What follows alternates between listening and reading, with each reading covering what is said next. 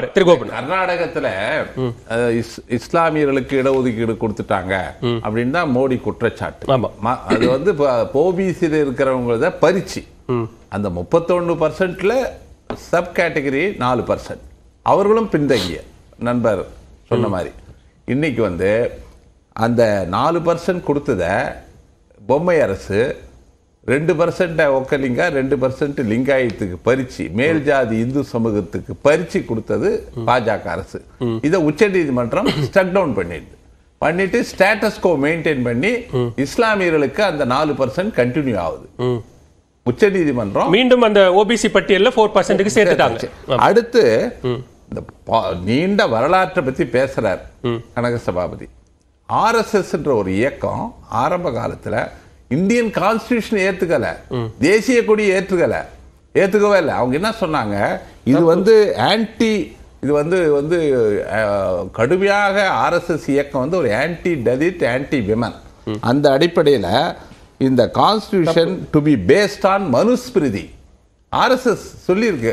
அது வந்து ஆர்கனைசர்ல வந்திருக்கு. கோல்வால்கர் எழுதியிருக்கார்.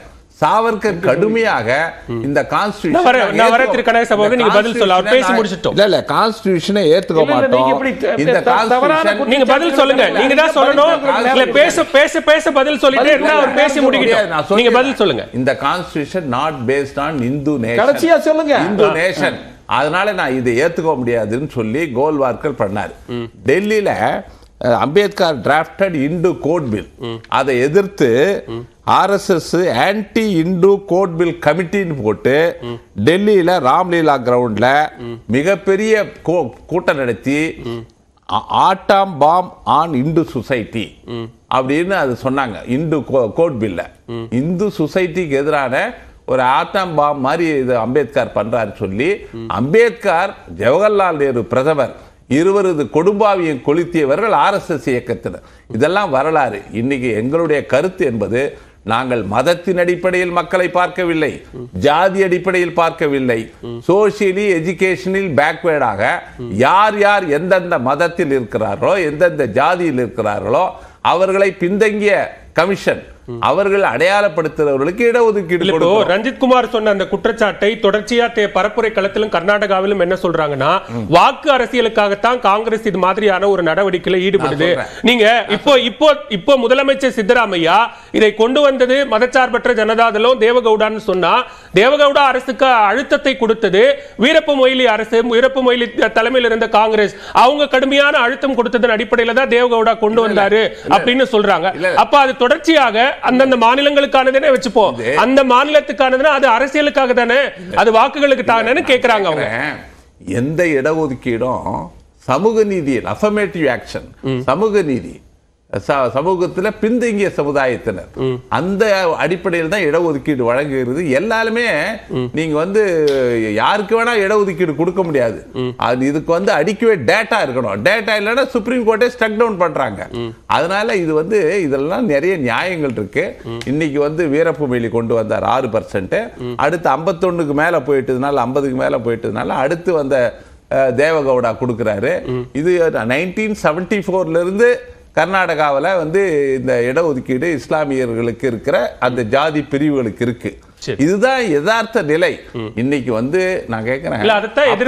ஓட் பேங்க் பாலிடிக்ஸ்னு ஒரு நண்பர் சொல்றாரு. ஓட் பேங்க் பாலிடிக்ஸ்னா சிறுபான்மையினருக்கு ஆதரவாக இது பேசுவது தான் வந்துன்னா அப்பீஸ்மெண்ட் அது. நாங்க மெஜாரிட்டி அப்பீஸ்மெண்ட் பண்ணி ஓட் பேங்க் பண்றோம். யார் பண்றது இன்னைக்கு? சிறுபான்மையினருக்கு எதிராக. சிறுபான்மையினருக்கு ஆதரவாக காங்கிரஸ் இருக்குன்னு பிரச்சாரம் செய்யறாருல இது இது வந்து அப்பீஸ்மெண்ட் ஆஃப் மெஜாரிட்டி இல்லையா?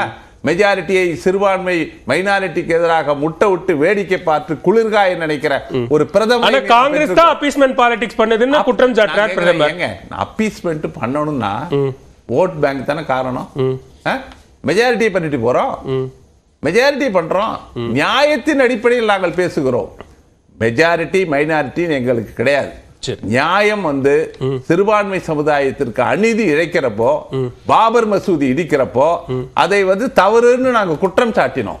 அந்த அடிப்படையில் தான் நாங்க இந்த பிரச்சனையை பார்க்கிறோமே தவிர இது அப்பீஸ்மெண்ட்னா அப்பீஸ்மெண்ட்ன்றது மெஜாரிட்டியை தான் ஓட் பேங்குக்காக ஒரு அரசியல் கட்சி செய்யுமே தவிர சிறுபான்மைக்காக அப்பீஸ்மெண்ட் பண்ண வேண்டிய அவசியம் கிடையாது. லாஜிக்கே இல்ல.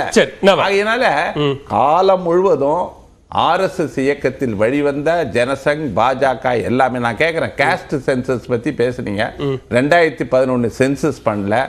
ரெண்டாயிரத்தி இருபத்தி பண்ணிருக்கணும் அதனால பத்து கோடி சரி, பேர்களுக்கு பண்ணல. நான் பத்து பாரு- இலவச தானியங்கள் கொடுக்கறாங்கல்ல. பத்து கோடி பேருக்கு மறுக்கப்பட்டிருக்கு. ஓகே. திரு ரஞ்சித் குமார் இங்க இடஒதுக்கீடு என்கிற ஒன்றை நீங்க செயல்படுத்தணும்னா கணக்கெடுப்பு நடத்தணும். கணக்கெடுப்பு நடத்தல அப்படின்னா நீங்க பெரும்பான்மை அப்படிங்கிற அடிப்படையில இந்துக்களுக்கான நாடாக இதை மாற்றுவதற்கான முயற்சியில் ஈடுபடுறீங்க அப்படிங்கிற குற்றச்சாட்டை வைக்கிறாங்க.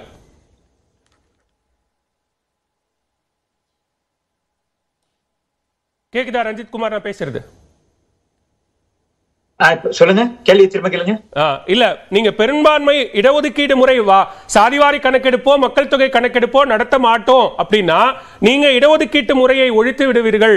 பெரும்பான்மையாக இந்துக்களுக்கான நாடாக இந்தியாவை மாற்றுகிற முயற்சியில பாஜக ஈடுபடுகிறது அப்படிங்கிறது காங்கிரசினுடைய குற்றச்சாட்டு. இல்ல காங்கிரஸ் வந்து தொடர்ந்து பொய் பிரச்சாரம் பண்றதுல வல்லவர்களா இருக்காங்க. இப்ப இந்து மகாசபா செய்யக்கூடிய விஷயங்கள ஆர் எஸ் எஸ் ஓட தொடர்பு படுத்தி பேசுறாங்க. இப்ப திரிணாமுல் காங்கிரஸ் செய்யறதெல்லாம் ஆல் இந்தியா காங்கிரஸ் தான் செய்யுது நம்ம சொன்னா எப்படி அபத்தமோ அதே மாதிரி இந்து மகாசபான்னு ஒரு இயக்கம் இருக்குங்கிறதுக்காக அது வந்து செய்யக்கூடிய வேலைகள் எல்லாம் ஆர் எஸ் எஸ் தான் செஞ்சதுன்னு இருக்க வரைக்கும் இந்த இடஒதுக்கீடு தொடரணுங்கிறது தான் ஆர் எஸ் எஸ் ஓட ஸ்டேட்மெண்டா இருக்கு. ஆர் எஸ் எஸ்ல எங்கேயுமே தீண்டாமை கிடையாது. எங்க- எங்க யாரையுமே ஜாதி? ரீதியா பிரித்து பார்க்கவே கிடையாது. இல்ல எங்க எந்த இடத்துல அப்படி சொல்லப்பட்டிருக்கு? இருக்காங்க சார்? எனக்கு சொல்லிட்டு போனா மோகன் பகவத் அவர்கள் வந்து கோட் பண்ணுங்க ஏதாவது ஒரு விஷயத்தை. ஏதாவது கோட் பண்ணுங்க. யார் சொன்னா. மோகன் பகவத் சொன்னா மோகன் சொன்னாரு நீங்க அது மாதிரி கோட். நான் சொல்றேன். எங்கள். வைத்தியா விஹெச்பி என்ன சொன்னா நான் சொல்றேன் இப்போ. வேண்டாம் சொன்னேன் இடஒதுக்கீடு வைத்தியா. ரெண்டாயிரத்தி பதினாறு நான் சொல்றேன். பேர்? சொல்லி சொல்றேன் என்ன- சொல்லுங்க. மோகன் பகவத் சொன்னார் வேண்டாம் சொன்னார். அதான் அது மாதிரி ஏதாவது பேர் சொல்லி. சொல்லுங்க. பாருங்க. நீங்க RSS ஆர் என்னைக்குமே வந்து. ரிசர்வேஷனுக்கு ஆதரவு- ஆதரிச்சு பேசுறதே கிடையாது. இடஒதுக்கீடு தொடரணும்னு சொல்லியிருக்கிறாரு. எப்போ சொன்னாரு? எங்க, எப்போ? எப்போ சார்? இப்ப நீங்க விஜயதசமி விழால பேசியிருக்கிறாரு. ஆர்எஸ்எஸ்க்கான ஒரு முக்கியமான விழா வந்து விஜயதசமி விழா. அந்த விஜய- விஜயதசமி விழால ஆர்எஸ்எஸ் தொண்டர்கள் மத்தியில பேசும்போது சொல்லியிருக்கிறாரு. அது செ- செய்தியா பத்திரிகை மறுபரிசீலனை பண்ணணும் ஏன் சொன்னார்? அது எந்த வாய்? இடஒதுக்கீட்டை மறுபரி. ரத்து செய்யணும் எங்கே சொல்லல. சார், அது நீங்க ஒரு இருக்கணும். உங்களுக்கு. மறுபரிசீலனை செய்யணும் மறுபரிசீலனை செய்யணும் அப்படின்னு சொன்னது ஏன்னு கேட்கிறார். அது எப்ப சொன்னார்? முடிச்சு எப்ப சொன்னார். அது வந்து காலத்துக்கு ஏத்த மாதிரி நீங்க இன்னும் கூடுதலா கொடுக்க கூட சொல்லிருக்கலாம் மறுபரிசீலனை செய்யணுங்கிறது அந்த இடஒதுக்கீடு பத்தல. இன்னும் கூடுதலா கொடுக்கலாம் சொல்லிருக்கலாம் நீங்க வந்து அது இடஒதுக்கீடு ரத்து செய்யணும்னு சொன்னாரு எப்படி நீங்க வந்து திரிச்சு சொல்ல முடியும்? இல்ல அது இல்ல இன்டர்பிரேஷன் இப்படிதான் வந்து வேற. இல்ல இன்டர்பிரேஷன் இப்படிதான் வேற. ஆனா பண்றீங்க. நீங்க நீங்க உங்க வசதிக்கு பண்ண முடியாது இல்லையா அத? அதை வச்சு தான் நாங்க interpret interpret அதே பண்ணுவோம். மோகன் பகவத் அவர்கள் வந்து ஆதரிச்சிருக்கிறார் இல்லையா? உங்க background பார்த்து தான் இந்த interpret பண்ண முடியும். முடிச்சிட்டோம். ஆ. சாதி ரீதியான பிரச்சனை இருக்க வரைக்கும் இடஒதுக்கீடு தொடரணும்னு ஆர்எஸ்எஸ் சார்ந்தவர்கள் தொ- கருத்து தெரிவிச்சிருக்காங்க அது நீங்க இல்லைன்னு மறுக்க கூடாதுல்ல மறுபரிசீலனை சொன்னாருங்கிறத நான் ஏத்துக்கிறேன். ஆனா அவர் அதே திரும்ப இன்னொரு ஸ்டேட்மெண்ட் வந்து இல்ல என் கேள்வி என்னோட கேள்விக்கு வந்துருங்களே நீங்க பன்முக இந்தியாவினுடைய பன்முகத்தன்மையை பாஜக சீர்குலைக்க பார்க்கிறது. இடஒதுக்கீட்டை ஒழிக்க பார்க்கிறது. பெரும்பான்மை ஒரு ஒரு இந்து ராஷ்டிரமாக இந்து நாடாக இந்தியாவை மாற்றுகிற முயற்சியில ரொம்ப தீவிரமா இருக்கு அப்படிங்கிற குற்றச்சாட்டுக்கு என்ன பதில்? சுருக்கமா. இல்ல அதாவது ஆயிரத்தி தொள்ளாயிரத்தி எழுபத்தி ஆறுக்கு முன்னாடி எப்படி இந்த நாடு வந்து இருந்தோ அதே மாதிரி இருக்கணும். ஆயிரத்தி தொள்ளாயிரத்தி எழுபத்தி ஆறுல யாரையுமே கேட்காம ஒரு தன்னாட்சியாக ஒரு சர்வாதிகாரமாக எப்படி செக்குலர்னு இவர்கள் அறிவித்தாங்களோ அது மாதிரி இல்லாம அதற்கு முன்னாடி இந்த நாடு எப்படி இருந்தது? இந்து ராஷ்டிரமா இருந்தப்பையும் எல்லாருக்குமான எல்லா வாய்ப்புகளும் கொடுக்கப்பட்டது.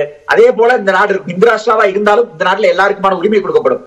ஏன் சொல்லணும்னா கர்நாடகாவை சேர்ந்த ஒரு இஸ்லாமியருக்கு பத்மபூஷன் விருது கொடுக்கப்பட்டது. அப்ப அது வந்து அவர் இஸ்லாமியர்களால கொடுக்காம மறுக்கலையே.